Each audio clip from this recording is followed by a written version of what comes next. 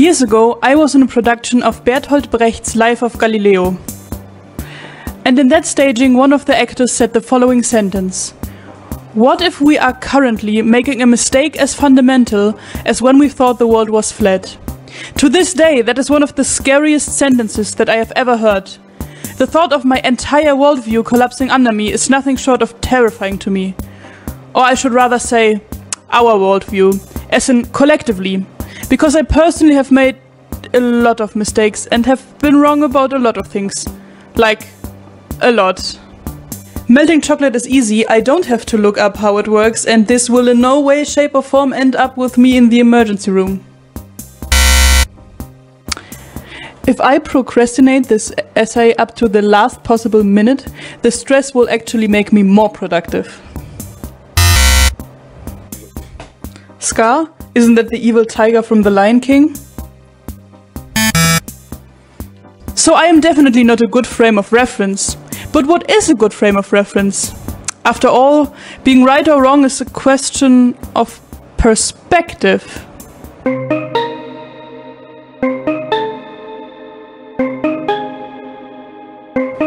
In her 1988 text Situated Knowledges, Donna Haraway talks about well, Donna Haraway talks about a lot of things in this text. It's multifaceted and complicated, and I would be doing it a great injustice if I would just pretend that it could be broken down to these few talking points.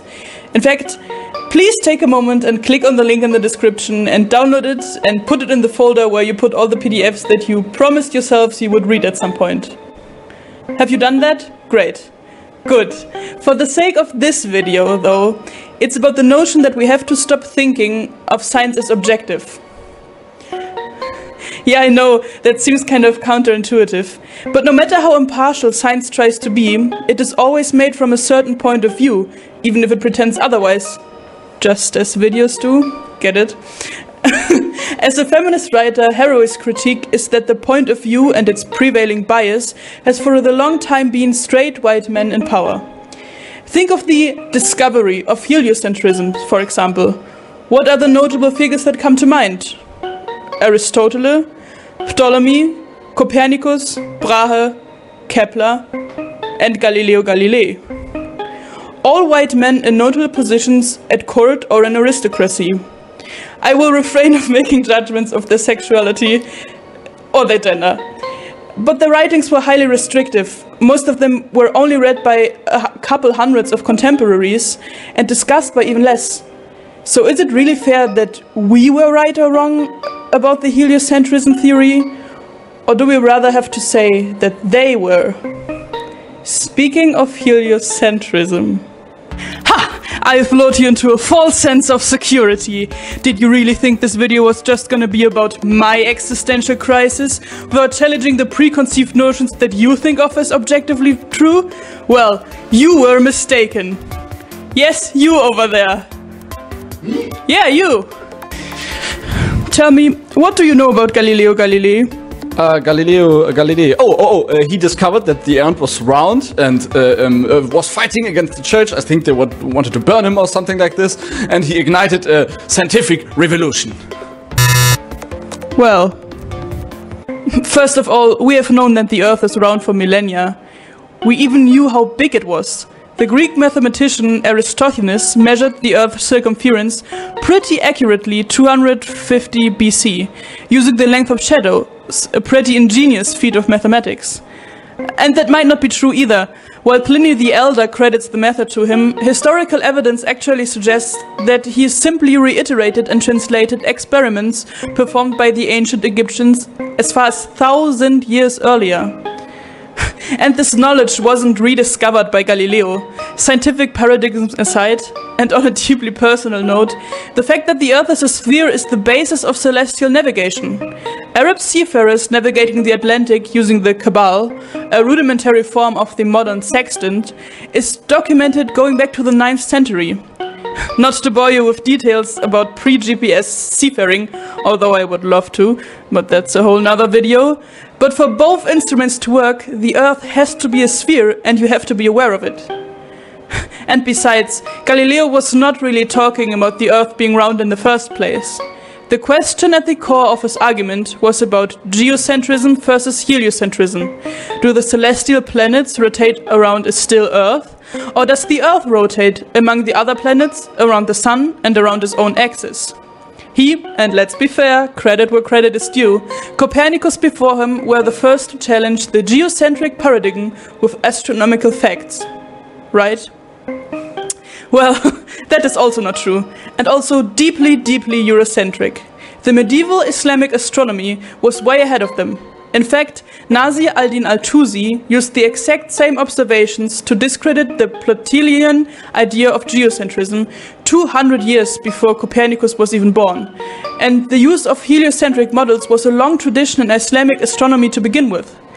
Many scholars even believe that Copernicus, and in turn Galileo, were inspired by the writing of Al-Tusi and others, although this is still a topic of debate. And don't even get me started on the whole idea of scientific revolution. You know, reason trumping over religion and all that? Yeah, that might not actually be all that accurate either. There was no such thing as a necessary 17th century conflict between science and religion. At least that's what Steven Shapin, writes in this book. Almost all scientists of the time were either clerical themselves or worked in institutions founded by the church. So did Galileo. The whole idea that the finding of the scientific revolution was some sudden triumph of objectivity over the wrongdoings of the subjectivity of politics and theology, this whole separation of subjectivity and objectivity in the first place, that is, ironically, a product of the scientific revolution itself. Okay, I know. That was a lot at once. And I know what you're asking. Well, if all that is not true, what is the objective truth then? And to that I want to say from the bottom of my heart, I don't know. No idea. Weren't you paying attention when I said all that stuff about Haraway? I mean, let's not get lost in narratives and science history. No matter who, when, or where exactly, we figured it out. Nobody in their right mind still believes that the Earth is flat, aside from some fringe conspiracy theorists. And we also know that the Earth revolves around the Sun. The question of this video, after all, is if we've gotten another big thing wrong, because we're definitely right about this one. Right?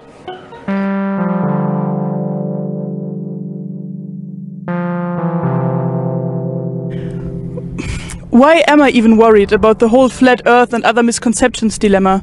I mean, yeah, there was certainly at some time where we thought that the earth was flat and the sun revolved around the earth, but we figured it out in the end. And just that's just one of the many times in human history where we learned something new about the world surrounding us and taught it to everyone else, setting the record straight, so to speak. That's kind of our whole thing, isn't it? Finding stuff out about the world and passing the facts on. Many archaeologists claim that that is the step from animal to human, the ability to acquire a multitude of complex facts about the world and pass it on to our descendants. So, have you ever thought about building complex tools consisting of multiple steps? And have you been taught this by your predecessors? And have you ever felt deep existential dread about the hypothetical but not unlikely scenario that your entire species might have made wrong assumptions about the planet surrounding it? Yeah, that's what I thought. So the question is, how did we actually acquire a multitude of complex facts about the world? And how do we know they are right? What exactly is scientific fact? Scientific knowledge?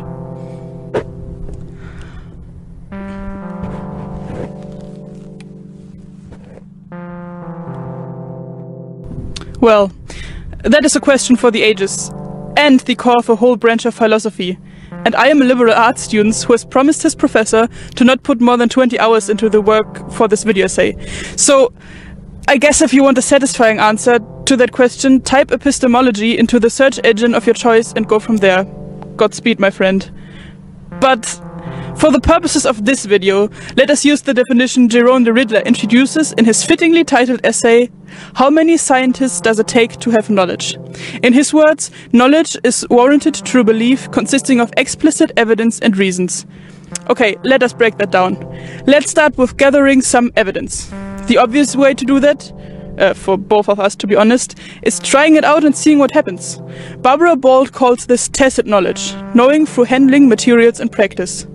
If said materials don't behave in the way we expect them to, our preconceived notion of how the world works gets challenged. And we have to adjust. The shock of the new lets us learn something new. For example, one might be hit in the head by an apple, observe its fall, and start thinking about the whole gravity business. On the other hand, observing that the Earth is not only a sphere, but also moving through the cosmos at an incredible speed and around its own axis is nearly impossible, at least for me right now in this forest. So we have to assume that the observations necessary for this evidence can be implicit and gathered through instruments we construct and trust to depict the world around us accurately, such as the movement of other planets across the night sky observed by using a telescope. Now that we have the explicit evidence part down, we also need our reasons. I can observe that when some people try to eat an apple for the first time, it just straight up kills them. But that doesn't mean that they understand the concept of food allergies or that they suspect it to be the apple's fault to begin with.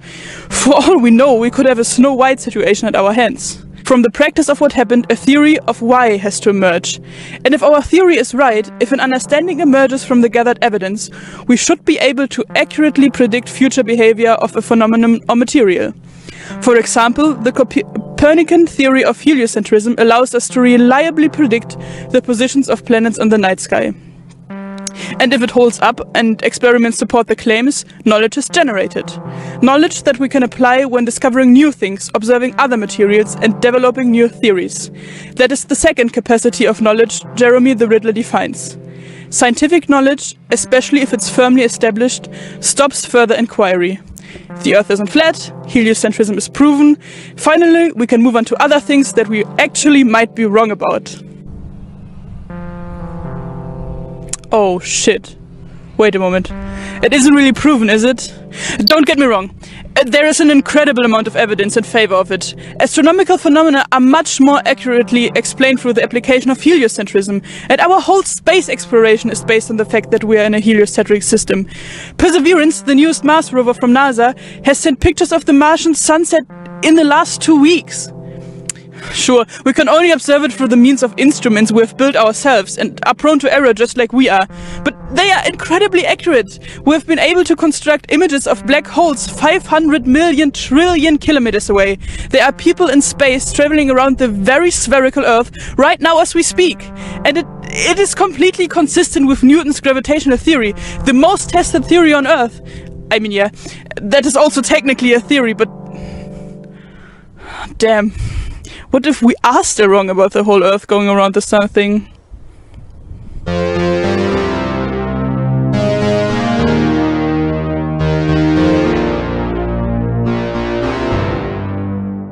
Yes, I am sitting in a bathtub.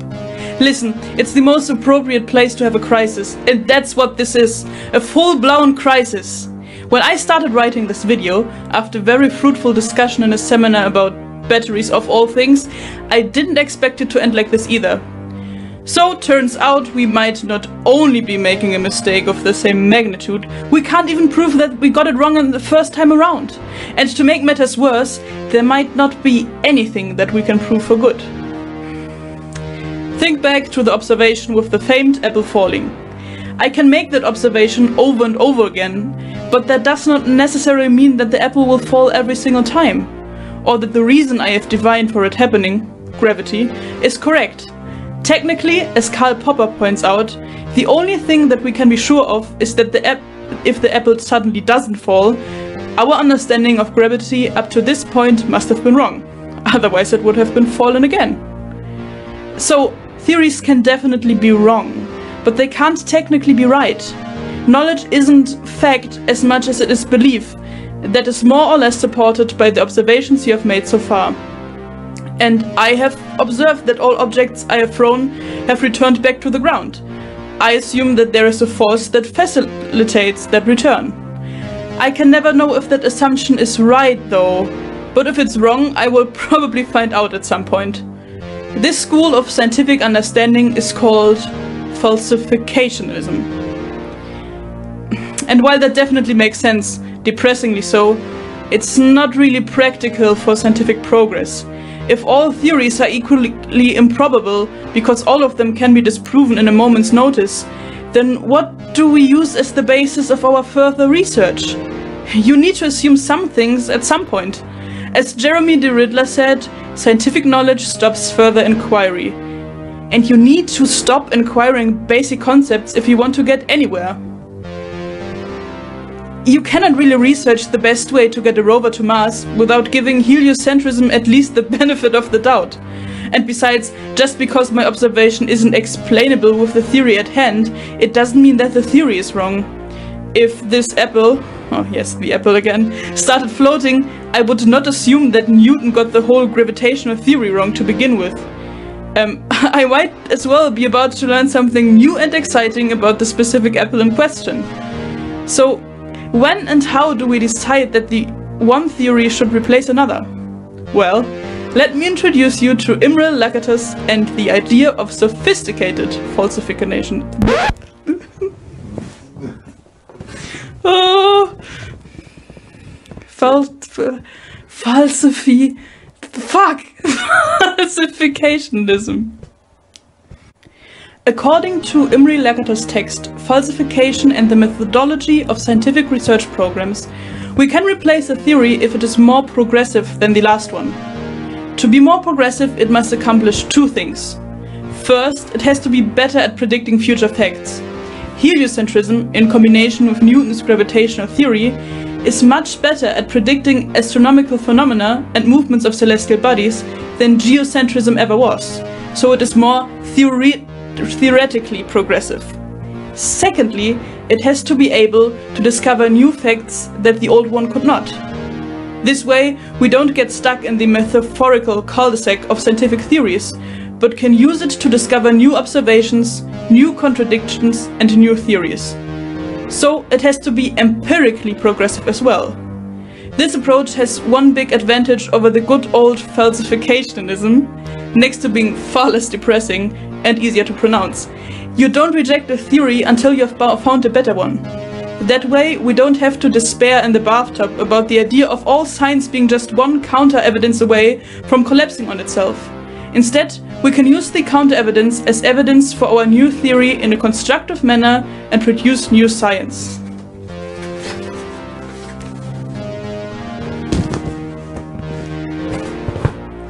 There's only one small problem. We have to actually agree on the fact that the new theory is progressive and should replace an old one. Like, collectively. As Haraway established and I badly summarized, bias is entrenched into our scientific understanding, making the identification of an objective need to switch very hard. On the one hand, there's bias in the facts itself. When observing the world around us, we carry specific assumptions about it in the first place, and any information opposing it would seem counterintuitive or unconvincing to begin with, at least according to Thomas Kuhn. To make matters worse, the language we use is also full of these assumptions. We can make an exchange about the new information even more difficult. My favorite example of this language bias is in the very harmless sounding word sunrise. By any account, heliocentrism has been the leading theory for hundreds of years. Shouldn't we have adjusted by now to the much more correct word Earthfall? Not to seem like I'm playing favorites text-wise or something, but at this point we need to talk about situated knowledges again. As established, Donna Haraway heavily critiques how bias is often ignored in science. But in the second part of the text, she also proposes how to take them into account.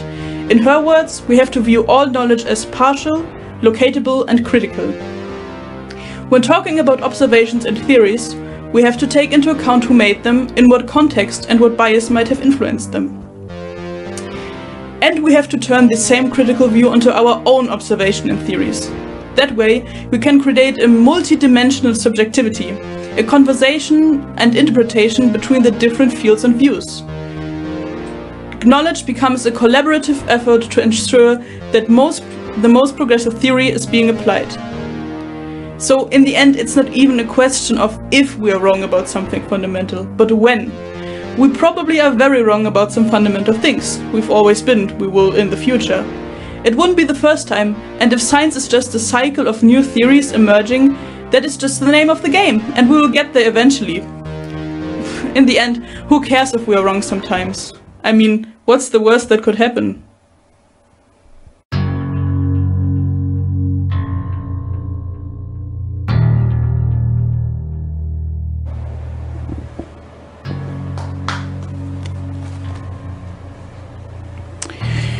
During the Manhattan Project, the famous research program tasked with the development of nuclear weapons, one of the participating scientists, Edward Teller, had a terrifying suspicion.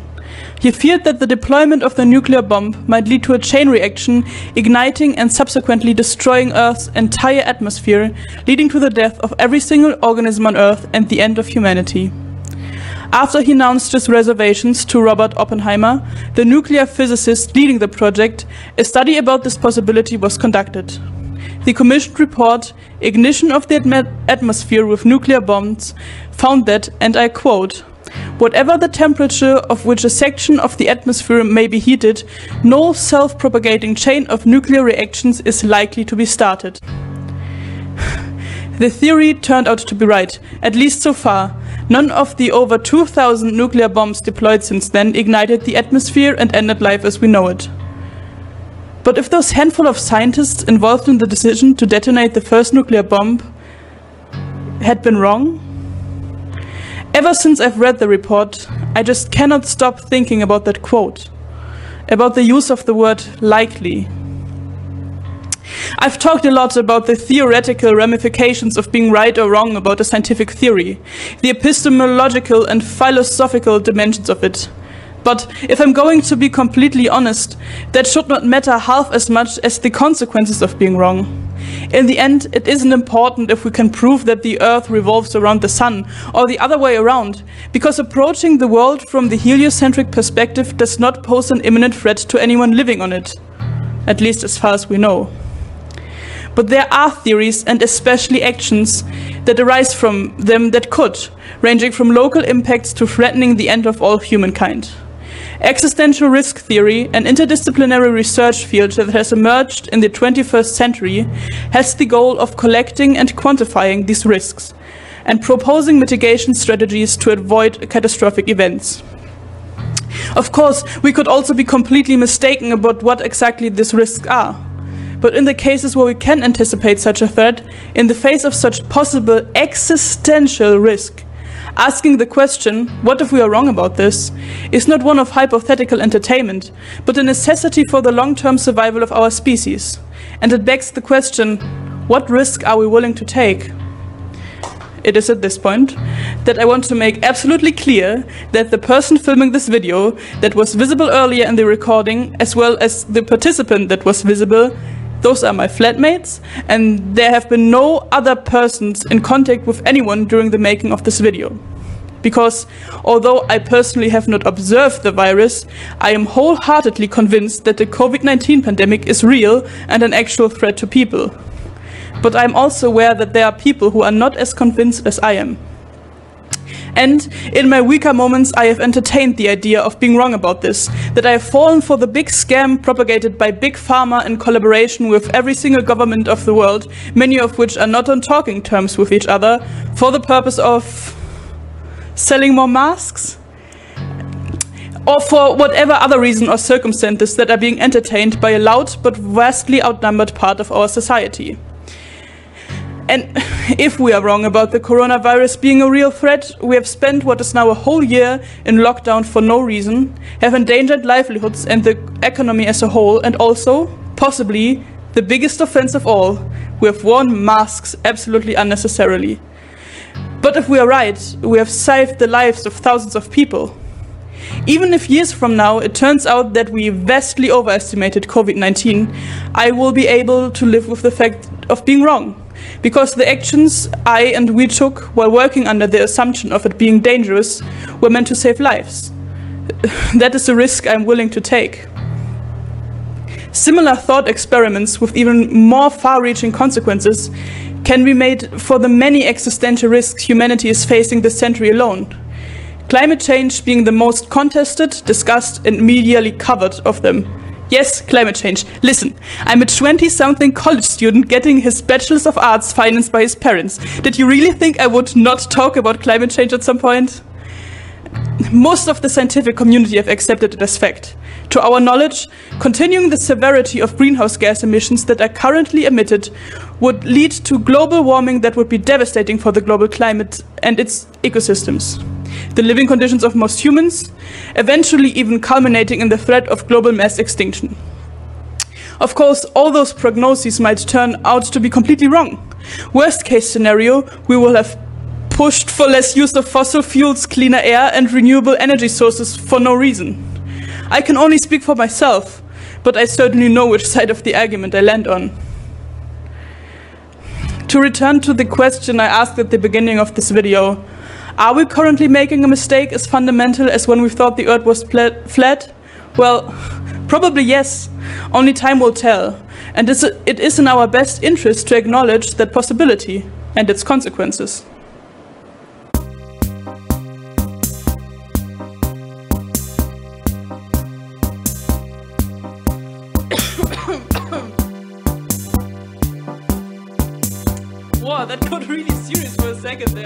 idea where that came from, honestly. Anyway, thank you so much for filming this. Yeah, you're welcome. Just one question. Yeah. How do you know that all the texts you reference, that they are right?